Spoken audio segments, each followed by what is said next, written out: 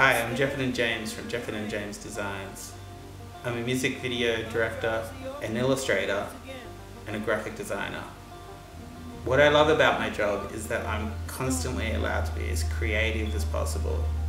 It's basically like being a big kid 24 hours a day and someone is paying you for it. I looked at NAS as a solution for my work because I accumulate a lot of data, whether it be shooting music video out on location with a band and keeping the camera going and knowing that once I've yelled cut, I can upload that footage back to the cloud, have it there safe and sound, create more space back on my SD card and continue shooting for as long as the day and the band and my energy levels will let me. Having that access to your data no matter where you are is one of the greatest gifts that WD has given me. I can go into a meeting, access a shot or a design or anything from my previous work and have it right at my fingertips.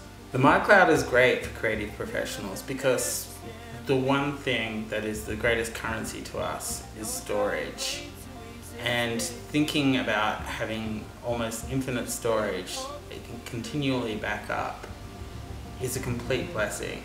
I'm sure it's a common nightmare amongst creative people, the loss of data and never being able to retrieve it. In the old days, I guess it must have been like having a great idea and not having a pen and paper handy. That's the 21st century equivalent of that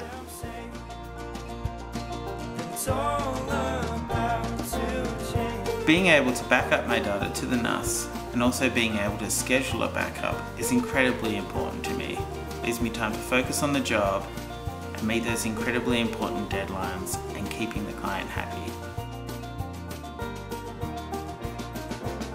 I'm Jefferton James and my cloud is the EX2100 by WD.